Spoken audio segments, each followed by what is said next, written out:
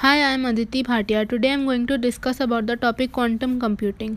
History of quantum computing. In the early 1900s, scientists found that as things get smaller and smaller, classical physics does not hold.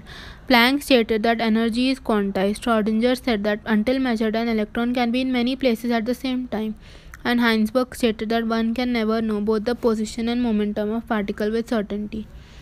The idea that so many things were probable and uncertain was bizarre, but even with greatly renowned skeptics, quantum mechanics was born. Even though computers advanced, simulating even simple molecular systems was nearly impossible due to so many probabilities. In 1982, Richard Feynman proposed an interesting idea that if you want to make a simulation of nature, you have to incorporate quantum mechanics in it. Therefore, instead of bits, that is zeros and ones in modern computers, a quantum computer would have qubits. A qubit is a photon or any other small particle with quantum mechanical properties that can represent a zero and one at the same time. This is how computers would mimic nature's probabilities. David Deutsch laid out a basic theoretical structure of a quantum computer in 1985. Deutsch, along with Jozsa, developed the first quantum algorithm called the DJ algorithm, which was exponentially faster than any classical algorithm. Then in 1994, Shor developed a quantum algorithm to factor multiples of large prime numbers and the world went insane because RSA encryption schemes were built on the assumption that classical computers would take ages to factor such numbers. But the actual hardware is not yet capable of such big calculations, and we need thousands of qubits and stable machines to perform this algorithm. In 1996, Grover developed a quantum database search algorithm, and in 1998, a working 2 qubit quantum computer could solve this algorithm.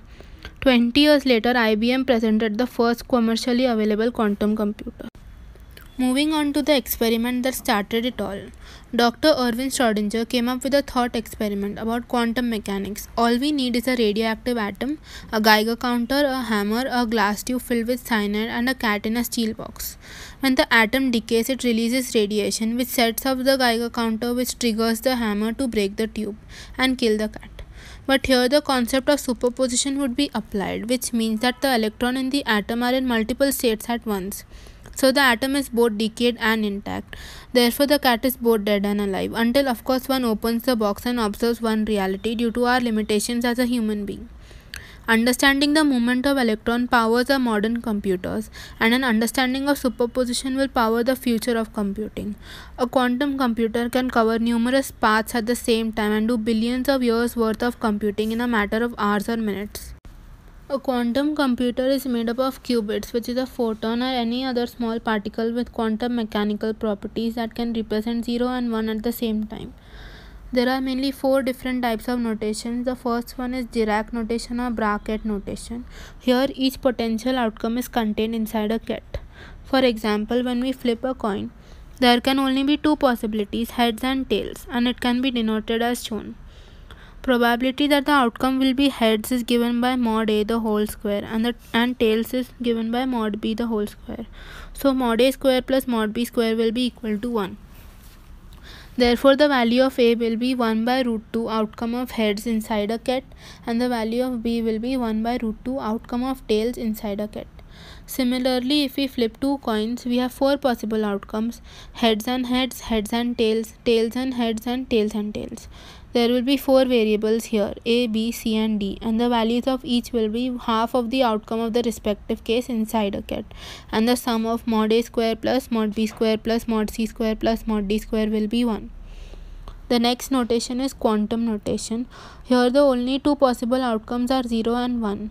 A qubit can be represented as shown in the slide. Similar to the Dirac notation, the probability that the qubit will be read as 0 is mod a whole square and that of 1 is mod b the whole square. The sum of these values will also be 1. If we measure n qubits, there will be 2 raised to n outcomes. The next notation is a simplified version of the previous one.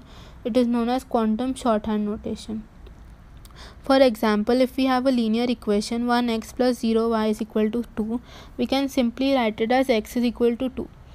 Similarly, if we have an equation 1 times output of 0 plus 0 times output of 1, we can simply write it as the output will be 0. Another way of simpli simplification will be to factor out equivalent constants. For example, 1 by root 2 output 0 plus 1 by root 2 output 1, we can ignore the constant term 1 by root 2. If we have two qubits, we can write both of the outputs inside a single ket. The last notation is the matrix notation. This notation is used to derive quantum gates and circuits. Here, instead of their outputs, their probabilities are written inside a matrix. Moving on to the effects of quantum mechanics which are important to understand the working of a qubit. The first one is superposition. Some things can hold two values at once until it is measured or stopped. For example, the picture given is both a rabbit as well as a duck in superposition. A coin which is flipped is both heads and tails until it comes to a rest. Similarly, in quantum computing, many values are stored together in superposition. Therefore, a qubit can be 1 and 0 at the same time but the probability of any of the two outcomes is not always 50 50. We can alter it. For example, a coin with a piece of gum stuck on one end will not have equal probability for heads and tails. Quantum operations can operate on all values at once and change the probabilities of each result. Operations gradually refine the values until the likely correct outcome is reached. After measurement, any superposition collapses, leaving only the measured value. Superposition is powerful. If we have n bits, there are 2 raised to n permutations possible.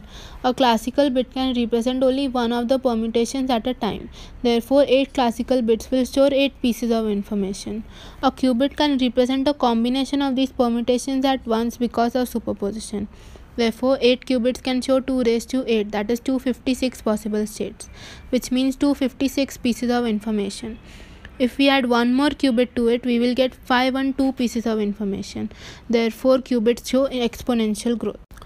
The next effect is entanglement. Some things are dependent on each other and some are independent. For instance, if we have two baskets B1 and B2 and Ted has 10 marbles which he divides between the two baskets. After dividing, he calls his friend to open one box. He opens B1 and finds 3 marbles in it and without opening B2 he says that there are 7 marbles in the second basket. This is because the number of marbles in each box is dependent on the other. In the case of flipping two coins, the, there will be four possibilities and each will be independent of the other. But what would happen if these two coins are entangled? There would be a scenario where the probability of two heads will be 50% and two tails will be 50%. But the probability of heads and tails will be 0. Qubits become entangled in a similar way. There is a 50 50 probability of measuring them in the same state, but never in the opposite. Entanglement means that the quantum states of qubits are described with respect to each other, even though they are in spatial proximity.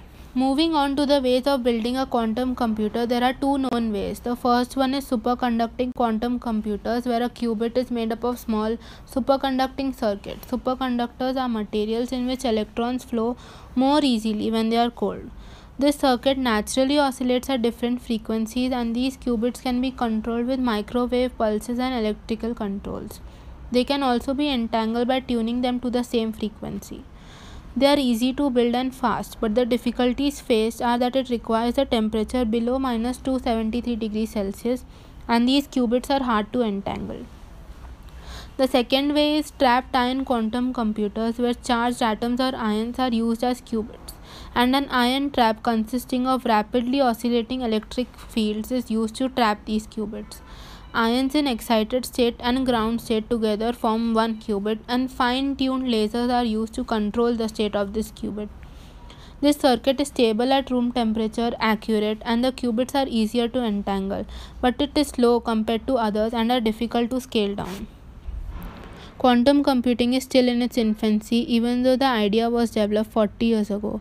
It can work 100 million times faster than modern computers and can solve complex computational tasks like encryption, cybersecurity, weather prediction, which modern computers could take thousands of years to solve within hours or minutes. Quantum computing could change the world. It could transform medicine, break encryption, and revolutionize communications and artificial intelligence. Companies like IBM, Microsoft, and Google are racing to build reliable quantum computers. While no quantum computer is yet sophisticated enough to carry out calculations that a classical computer can't, great progress is underway. Thank you.